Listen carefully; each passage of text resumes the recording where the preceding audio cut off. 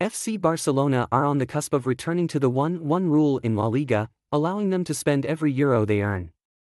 That would greatly simplify the transfer market for the Catalan giants, who have high ambitions and are keen on signing prominent players such as Nico Williams and Mikel Merino.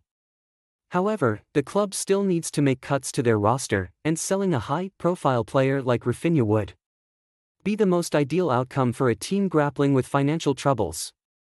Now, the opportunity to return to the Premier League is arising for Raphinha. According to Sport, Saudi Arabian side Al Ittihad have been strongly linked with Aston Villa winger Moussa Diaby. Barca are closely monitoring these negotiations.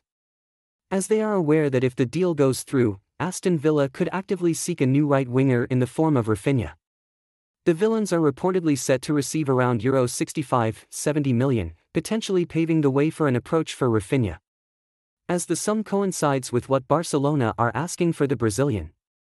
Despite his dominant form this year, Barcelona have considered a transfer for Raphinha throughout 2024. Given he is one of their most lucrative assets. Saudi Arabia giants were open to splashing big on the Brazilian winger.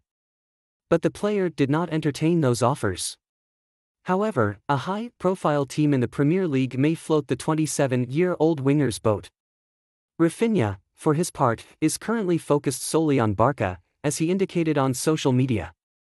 We're going for the third year, he commented on a Barcelona post. Referencing his two years with the club. But the signing of Nico Williams would heighten the competition in the squad. And a potential offer by Saudi Arabia may tempt Raphinha to opt for a change in scenery.